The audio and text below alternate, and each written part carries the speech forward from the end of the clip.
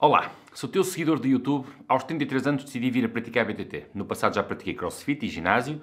Acontece que já ando há um mês de bicicleta, dia sim, dia não, a fazer 25, 30 km para ganhar pulmão e resistência. Mas o grande problema é o cu, que dói já na casa dos 30 km. Consegues-nos responder quando é que passa esse limite e eu deixo de ter desconforto? Uh, PS, Selim que uso é o prólogo Nago Evo Paz, muito incentivado com o teu canal. Obrigado e boas pedaladas. Abraço. Ora bem, meu caro, eu nunca, em momento algum, recomendei o prólogo Nago Evo Paz. O prólogo Dimension, sim. Esta versão da prólogo, nunca.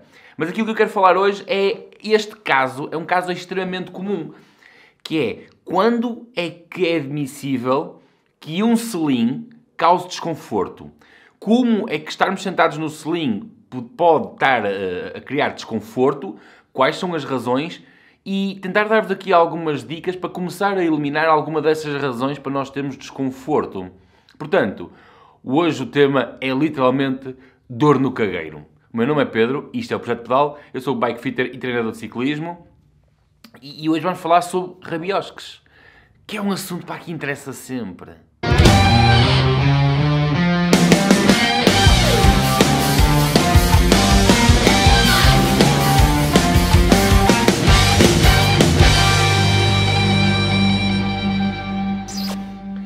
Toda a minha vida que eu me recordo, e toda a minha vida como ciclista, eu usei creme no rabo por duas vezes.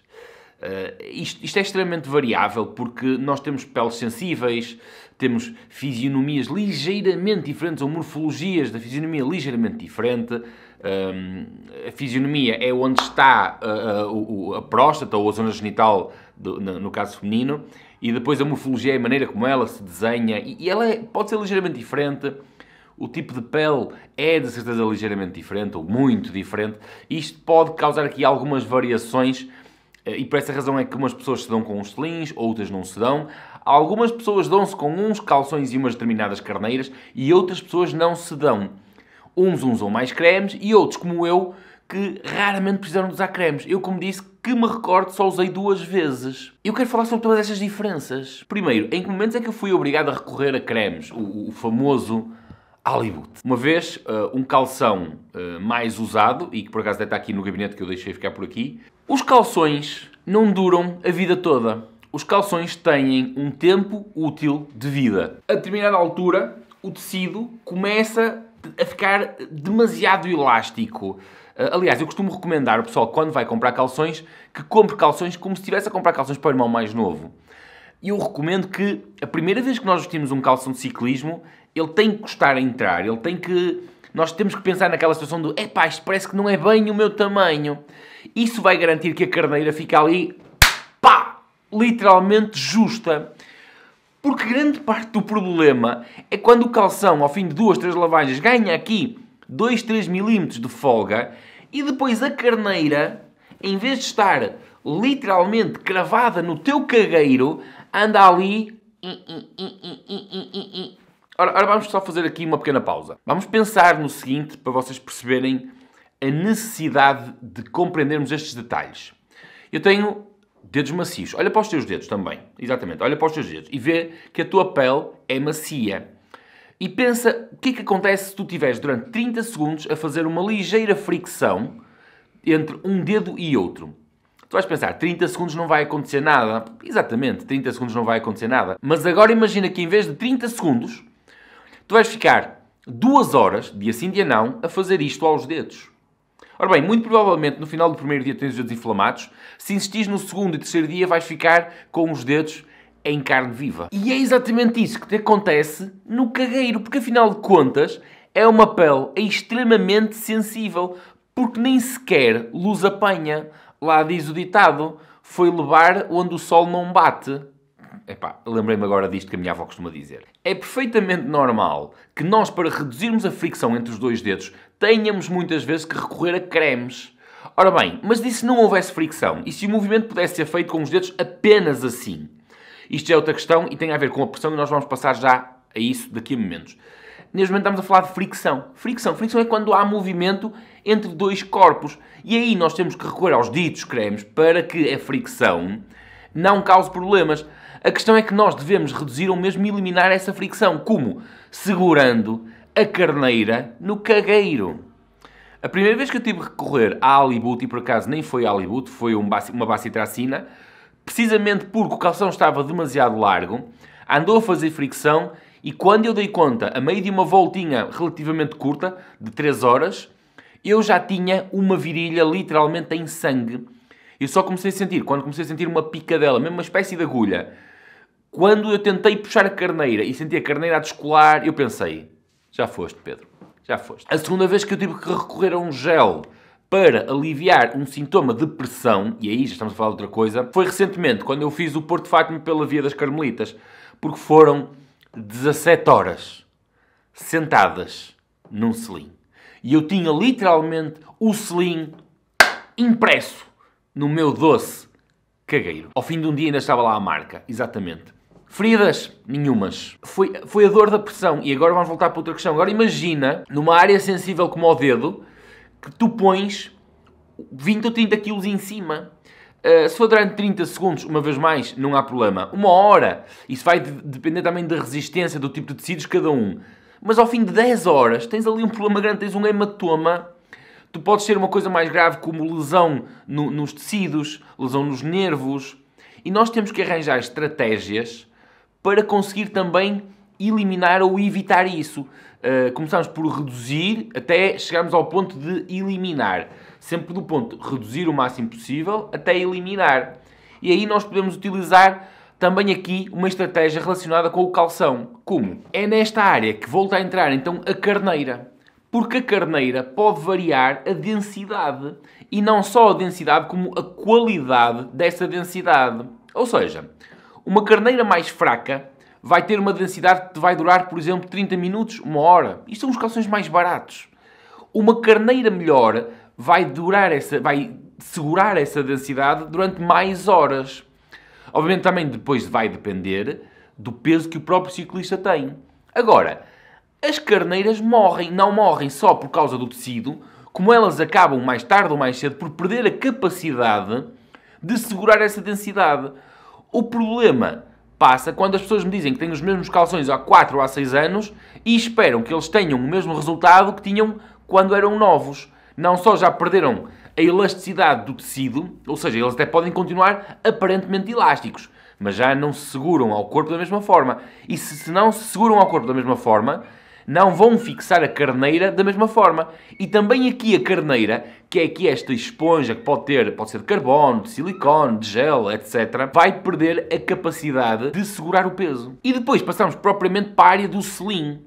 E eu passo a vida a dizer que os selins são quase como os medicamentos. Nós temos selins, aqueles que eu recomendo mais, uh, adequam-se à grande maioria da população, porque neste momento ainda não é verdadeiramente possível nós desenharmos o sling específico para cada uma das pessoas, a tecnologia já existe, mas ainda não está acessível ao comum dos mortais.